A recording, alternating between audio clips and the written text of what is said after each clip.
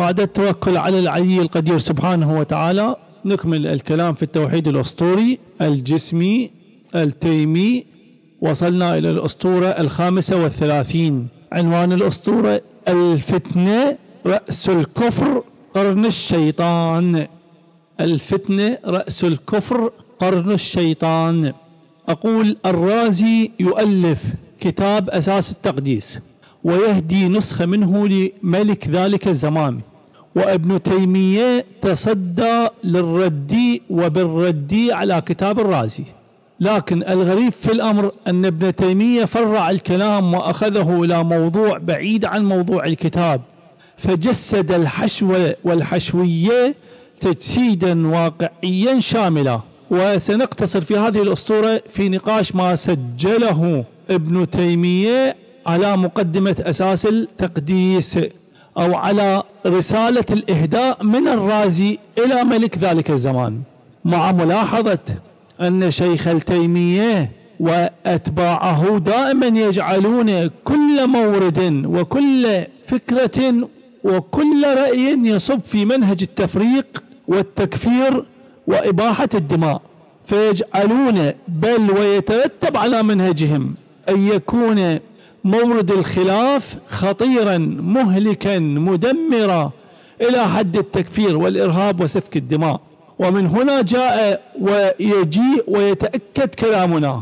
ومن هنا جاء ويجيء ويتأكد كلامنا ونقاشاتنا مع الشيخ ابن تيمية وما ترتب على كلامه ومنهجه من فتن ومضلاتها التي مزقت المسلمين وبلدانهم وزهقت مئات آلاف الأرواح المسلمة بسببها على طول الزمان. والكلام في جهات.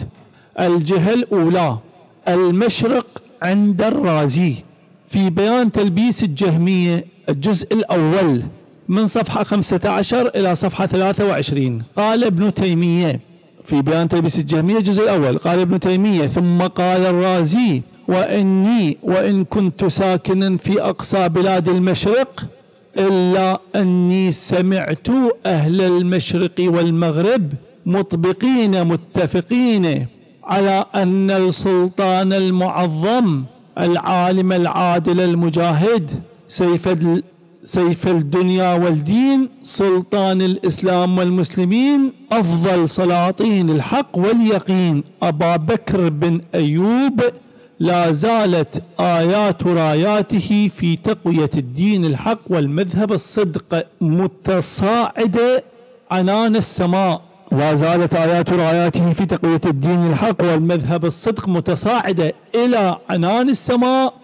وآثار أي ولا زالت آثار وآثار أنوار قدرته ومكنته باقية وآثار أنوار قدرته ومكنته باقية بحسب تعاقب الصباح والمساء أفضل الملوك وأكمل السلاطين في آيات الفضل وبينات الصدق وتقوية الدين القويم ونصرة الصراط المستقيم فأردت أن أتحفه بتحفة سنية وهدية مرضية فأتحفته بهذا الكتاب الذي سميته بأساس التقديس على بعد الدار وتباين الأقطار. هذه العبارة الطويلة ذكرها الرازي فأتى بها ابن تيمية في بيان تلبيس الجهمية وناقش هذه العبارة ودخل في نقاش هذه العبارة وهي من المقدمة والمقدمة.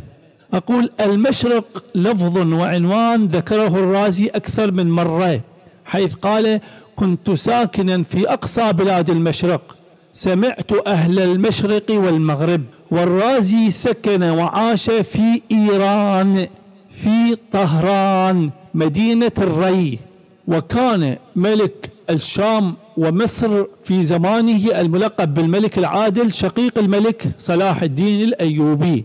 وأحد ملوك الدولة الأيوبية. حكم من سنة 596 إلى سنة 615 هجري وهو ملك مصر والشام. وفي تلك الفترة كانت بلاد الإسلام واسعة وشاسعة المساحات فشملت الكثير من البلدان في آسيا وأوروبا وأفريقيا فضلا عن مصر والشام وتركيا وإيران. ومن الطبيعي أن يعبر الرازي عن موطنه وسكنه بقوله في أقصى بلاد المشرق ومن الطبيعي جدا لسعة الدولة الإسلامية بل حتى مع عدمها أن يعبر للملك بسمعت أهل المشرق والمغرب للإخبار عن ولاء الناس له وانقيادهم له للعدل الذي أظهره فيهم بالنسبة لمن كان تحت سلطانه ولإذاعة وإشاعة اسمه وصيته بين باقي المسلمين وغير المسلمين من أهل المشرق والمغرب.